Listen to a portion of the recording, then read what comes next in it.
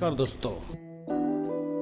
आज की क्लास में हम सीखेंगे डिजिटल पेंटिंग, जिसमें हम सीखेंगे ट्री बनाना। तो आइए देखते हैं।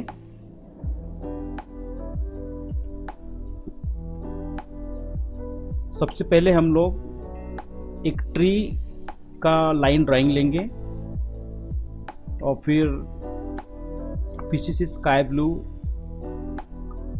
कलर करेंगे इसको। इसका जो बेस कलर ये।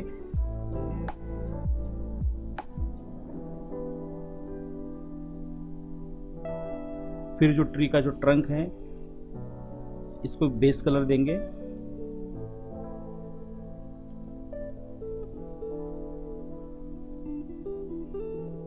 थोड़ा सा इसको डार्क करते हैं।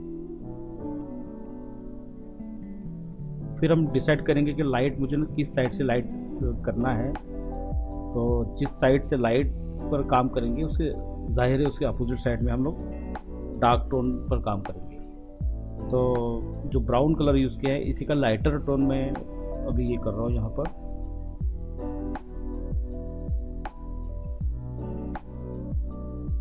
और ब्राउन का ही मैं डार्कर टोन कर रहा हूँ। तो धीरे धीरे इसको डार्क और लाइट में करता जाऊँगा और लाइट को फिर मैं हाईलाइट में कन्वर्ट करूँगा। तो सिंपल एक हार्ड ब्रश लेकर के जिसकी अपोसिटी में 50 परसेंट रख करके इसको मैं यूज़ कर रहा हूँ। ब्रश आप कोई भी लो, लेकिन हमें अपोसिटी और इन सारी चीज़ों पर ध्यान रखना है।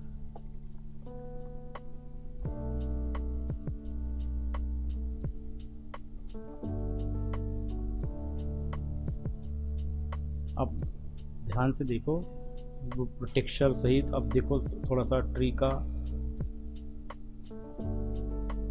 लुक धीरे धीरे भी आने लगा है।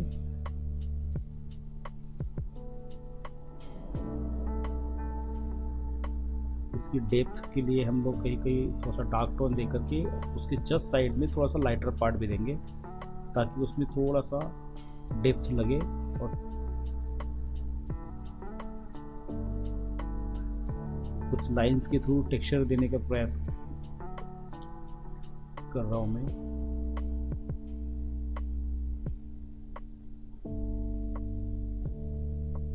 जब भी हम लोग बनाते हैं तो ध्यान रखना कि बीच में लाइन जो ड्राइंग है एक्चुअली जो बेस लाइन जो है, उसको आप रिमूव करके देख सकते हो, ताकि हमें पता चले कि हम लोग, हमारा काम सही से हो रहा है या नहीं।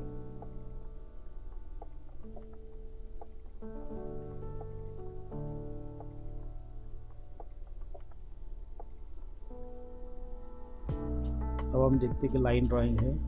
इसके ऊपर हम लोग क्या करेंगे कि इसका भी जो ट्री है, इसकी पत्तियाँ जब मुझे बनाना है तो उसके पहले मैं यहाँ पे बेस कलर दे दूँगा। तो एक छोटा सा सिंपल सा टेक्सचर ब्रश लेकर के बेस कलर देना बहुत ज़रूरी है। बीच में डार्क करूँगा थोड़ा सा और फिर मैं इसको इन सारे कलर्स को, जैसे जहाँ लाइटर देना है डार्कर देना है, सब बेस कलर करके इसको मिक्सर ब्रश में मिक्स कर रहा हूँ। तो यहाँ मैं मिक्सर ब्रश यूज़ किया है। इसको प्रॉपरली मिक्स करके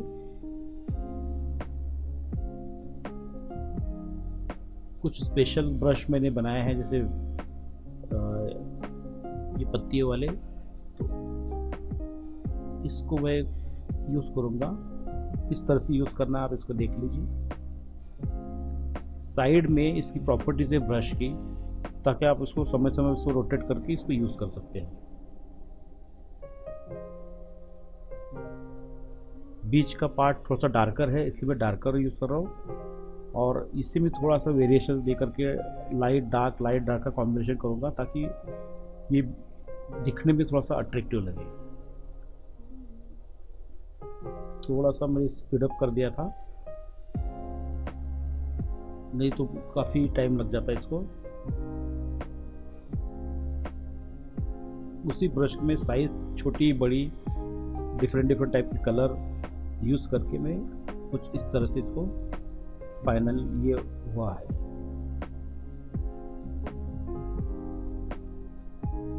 इसी तरह से साइड का भी करेंगे हम लोग।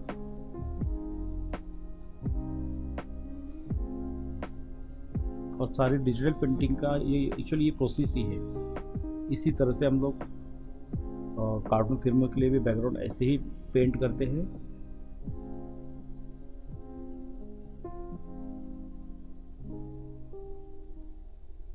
केवल एक ब्रश में इसको यूज़ कर रहा हूँ। जिस ब्रश को मैंने लासो टूल से पहले बनाया है, जैसे कि जो लोग जानते हैं सॉफ्टवेयर के बारे में उनको पता है कि ब्रश किस तरह से बनाया जाता है।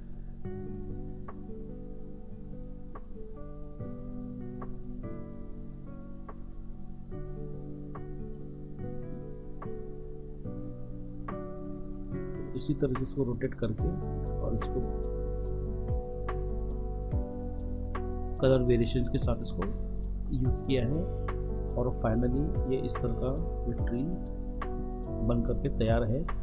अब कुछ लाइटर यूज़ करूँगा लाइटर पार्ट और इसको मैं इस तरह से कहीं कहीं दूँगा ताकि ये थोड़ा सा अट्रैक्टिव लगे। जिसको एक बात और बता दो, जिसको जैसे जिसको किसी को यदि वो ये ब्रश यदि नहीं बनाते आता है तो आप मुझे मेल करके ये ब्रश में से ले सकते हैं। इसमें मैंने ये पूरे पेंटिंग में मैं चार से पाँच टाइप के ब्रश यूज़ करने वाला हूँ। जिसमें से ये एक है और नीचे के साइड में कुछ अलग अलग टाइप के ब्रश यूज़ करूँगा। तो जिन्हें भी ये ब्रशेज चाहिए, इनमें से ले सकते हैं।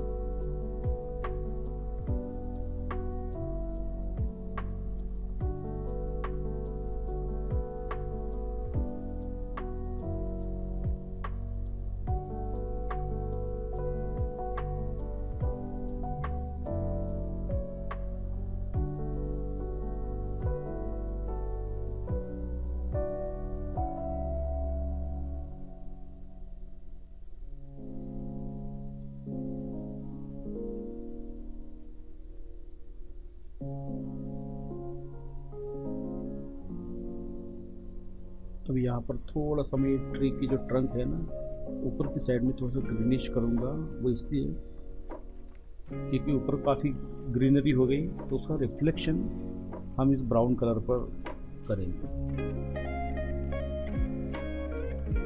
ताकि उसकी थोड़ी सी डेप्थ भी लगे और थोड़ा सा वो रिफ्लेक्ट भी लगे ग्रीन कलर उसके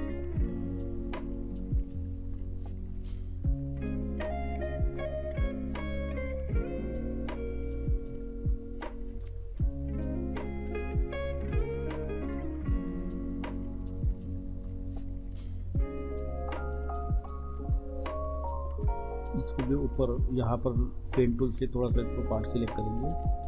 और इसको थोड़ा सा ऊपर की साइड में लाइटर और नीचे की साइड में डार्कर टोन करें, ताकि उसमें एक डायमेंशन आ जाए।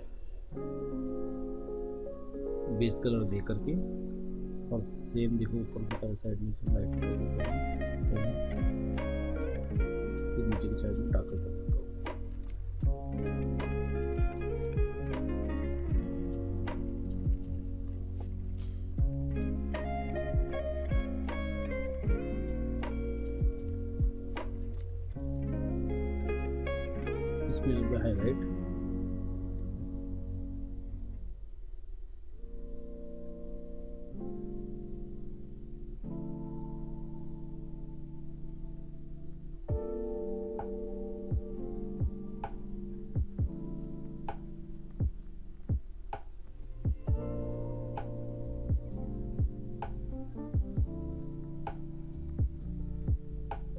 यहाँ पर थोड़ा सा इसके ग्रीनरी दिखाने के लिए थोड़ा सा बेस कलर पहले कर लेंगे।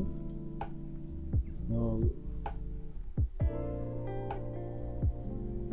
वैसे ही जैसे मैंने ट्री में पहले कलर किया था बेस कलर जहाँ मुझे डार्कर करना वहाँ पर डार्कर कर लिया। और जहाँ लाइटर करना वहाँ पर लाइटर कर लिया। और यहाँ पर मैं ये कलर को मिक्स करने के लिए मिक्सर ब्रश नहीं यूज़ कर, नहीं यूज़ करते हुए मैं यहाँ पर मोशन ब्लर यूज़ करूँगा।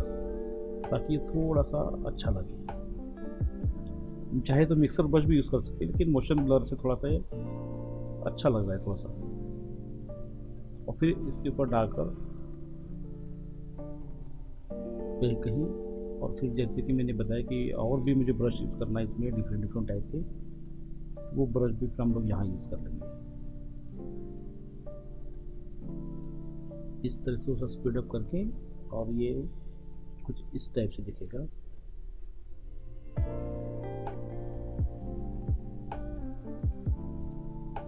अब फ़िलहाल मैंने वही ब्रश यूज़ करा जो ऊपर यूज़ किया है।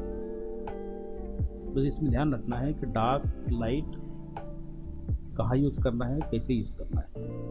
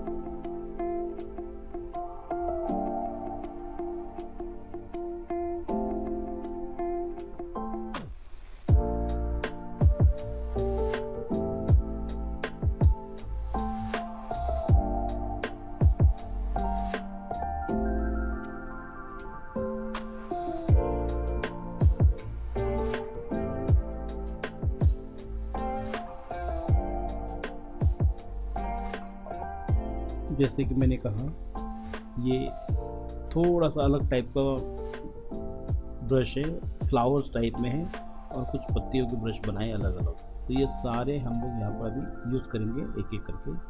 इसका लाइटर और डार्कर टोन करेंगे। जैसे यहाँ पर इसको लाइट कर दिया और नीचे इसको थोड़ा सा उसी कलर को डार्क कर दिया। तो इससे क्या होता है कि हमारा थोड़ा सा टाइम सेव हो जाता है। हमें जैसे ब्रश चाहिए, पहले ब्रश हम लोग बना लें और उसको प्रॉपर तरीके से यूज़ करें तो थोड़ा सा हमारा पेंटिंग बहुत अच्छा लगता है। तो ये कोई बहुत कॉम्प्लिकेट नहीं है ब्रश बनाना, बहुत ईजी है। बस आपको बनाना कैसे है आपको सोचना है।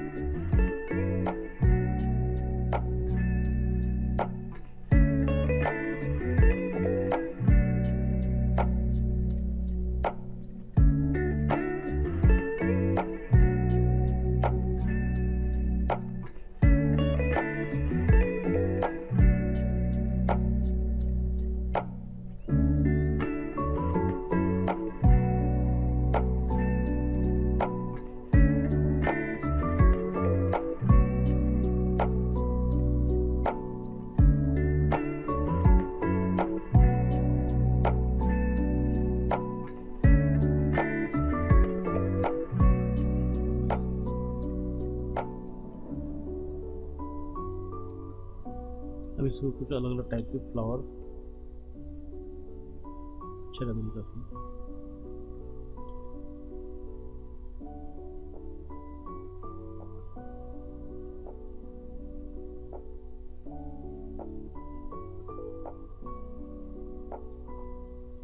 इस तरह से पूरा एक बंच बना देंगे और इसी बंच को हम लोग कंटिन्यू आगे और इधर दोनों साइड में लगा देंगे।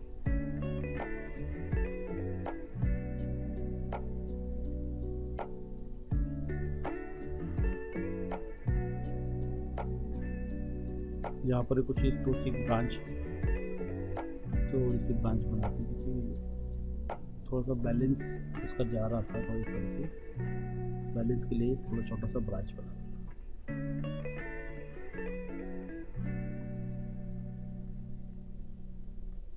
अब नीचे का जो कलर है ना, उसको थोड़ा सा उसके पीछे कुछ ऐसा कलर डालेंगे। ताकि थोड़ा सा डेप्थ फील हो जाए तो अच्छा लगे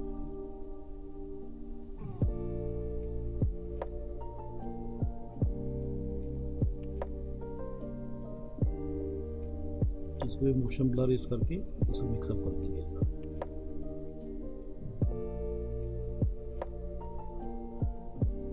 ये सारी चीज़ें, आप कोशिश करो कि इसको अलग अलग लेयर पर करो तो बेटर होगा।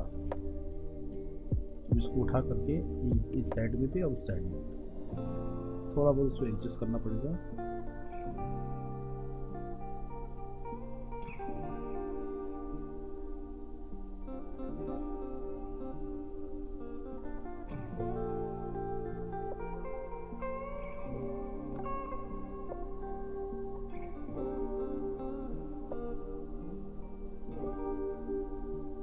कुछ थोड़ा सा नीचे वाला हिस्से को कलर वही का कलर लेकर के थोड़ा सा मिक्सअप करने की कोशिश करता हूँ, ताकि ये थोड़ा सा डिस्टेंस अच्छा लगे फील हो जाए थोड़ा सा आपको मेरा ये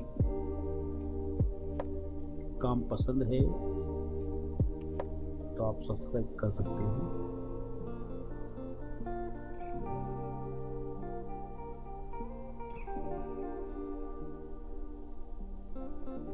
से ये कुछ फाइनल ऐसा दिखेगा। Thank you